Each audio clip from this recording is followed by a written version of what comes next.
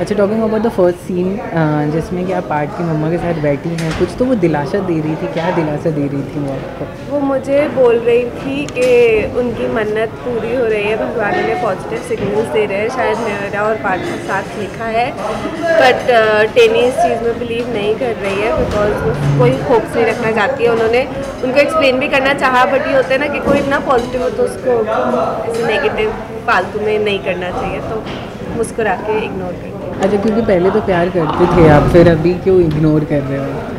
नहीं, प्यार करती थी बट अभी you know you can not force your love on someone पर टेनी हमेशा पार्ट से प्यार करेगी पर उसने कभी उसको पाना छीनना नहीं चाहा और अगर पार्ट की खुशी उससे अलग रहने में तो खुश रहे। उसने हमेशा पार्ट की खुशी के लिए किया जो अच्छा अभी क्या है? हाथ पकड़ के पार्थ आपको रूम में लेके गए क्या हो रहा है? उसको बहुत गुस्सा आ रहा है कि मैं उसकी फैमिली के साथ हंस रही हूँ नाच रही हूँ उसके बच्चे को हाथ लगा रही तो उसको गुस्सा निकालेगी चली जा क्यों वापस आ जाती है? तो आपने क्या बोला? फिर बोला ठीक है एक बार और से तेरी खुशी के लिए चली जाती अच्छा डायरेक्टर का बर्थडे भी हुआ क्या कहना चाहेंगे? कि जैस्मिन अच्छे से सेलिब्रेट हुआ sir I had so much fun Ashish sir is really amazing all of all of us really love him so it was fun for tasty cake thank you